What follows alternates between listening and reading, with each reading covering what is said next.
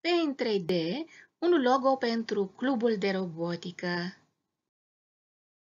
Un logo este un element grafic folosit pentru identificarea unei firme, a unui produs, a unei organizații, a unui eveniment, etc. Logoul poate fi compus din una sau mai multe litere, o imagine sau o combinație a acestor elemente.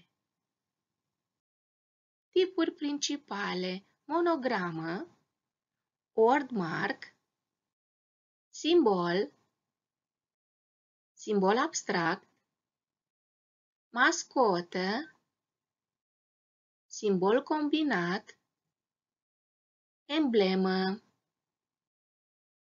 Iată un top 10 al logourilor. Sarcină de lucru. Inserați scutul Shield Xbox din biblioteca 3D. Inserați modelul 3D al robotului din biblioteca aplicației. Alegeți fontul Elephant pentru textul scris în format 3D. Salvați imaginea. Scutul Xbox. Robotul și textul în format 3D cu aspectul elefant și mărimea 48.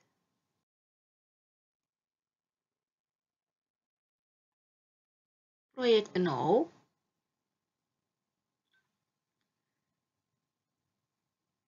Shield este cheia de căutare pentru scutul Xbox redimensionăm obiectul din biblioteca 3D,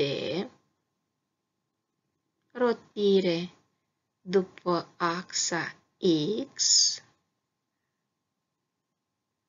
reglaje pentru suprafața de desenare pentru pânza de lucru, modificăm culoarea.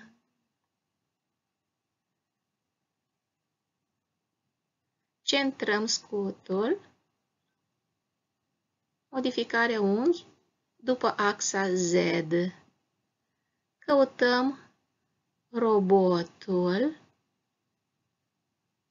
albastru, alb-roșu.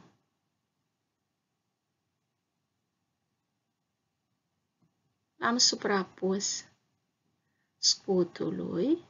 Urmează să alegem aspectul fontului cu care vom scrie textul robotica în partea de sus a imaginii. Într-o culoare metalizată, cu aspectul elefant și mărimea 48 pentru moment, textul 3D completează logo-ul cerut. La final vom salva lucrarea sub forma unui fișier imagine cu extensia JPG pe calculatorul propriu. Sarcină de lucru. Personalizați logo-ul. Cu ajutorul formei 3D Doodle, având aspectul diamant și dimensiunea 32, delimitați două noi suprafețe de desenare verticale stânga-dreapta. Utilizați pensonul Oil Brush din fila pensule pentru a aplica două culori de fundal diferite pentru cele două arii stânga-dreapta nou create.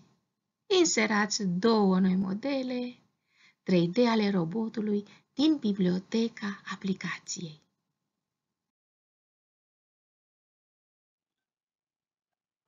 Îndepărtăm robotul, alegem instrumentul 3D Doodle cu aspectul diamant și figurăm o arie de vizionare delimitată de această formă colorată în albastru.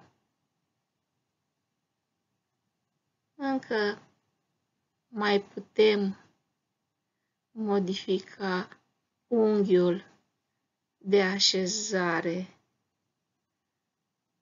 al acestui contur.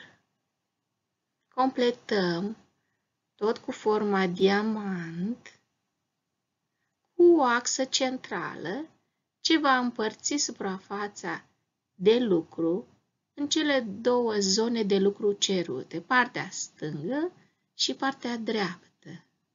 Cu un penson de tip vopsea ulei cu o dimensiune de 89 de pixeli, aproape de 100, colorăm partea stângă în gri Apoi, partea dreaptă, într-o culoare galben luminoasă, o variantă de auriu. Din uh, bibliotecă extragem un prim robot iar apoi îl recolorăm, îl uh, redimensionăm și îl plasăm în partea stângă a logoului. Și tot cu cheia de căutare robot vom aduce în partea dreaptă a imaginii Robot Lego 7 O formă plăcută, sugestivă, pe care o plasăm central în partea dreaptă. Logo-ul este finalizat. Urmează să fie salvat și elementele care l-au compus urmează să fie grupate printr-o selecție și clic pe butonul Grupare. Tema pentru acasă. Realizați un logo pentru Clubul de Biologie. Inserați modelul 3D al meduzei din biblioteca aplicației, alături de scut, trandafir, margaretă și frunza de ferigă. Salvați imaginea! Vă mulțumesc!